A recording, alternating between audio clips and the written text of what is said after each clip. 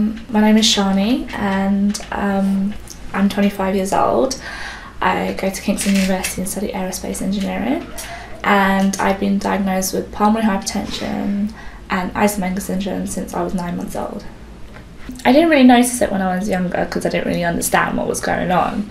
I just knew that I was ill all the time and I wasn't like other kids and I couldn't do most activities that other kids could till I was about nine and they came out with new treatment and it improved my quality of life.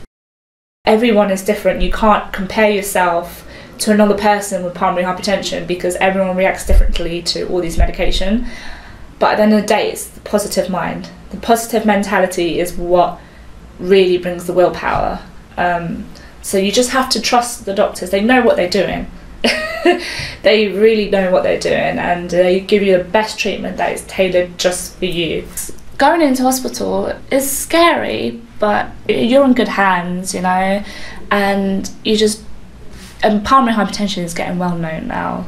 It's most doctors know about it, most hospitals are aware of it, and they're aware of the diagnosis and what they need to do. You just have to not worry too much because if you get yourself worried, worked up too much, then you will fall ill because even stress adds to getting worse. For someone who's been recently diagnosed, stay positive because a healthy mentality is very, very vital for your physical health. Don't worry about the things that you can used to do, like you know, if you used to do swimming or rugby or football and just think oh what can i replace that with that it's not going to be so tiring? Think oh i could learn something new learn to play the piano learn to play the violin you know? It's it's not the end of the world and always always replace a negative with a positive. Just have the willpower and don't give up on yourself.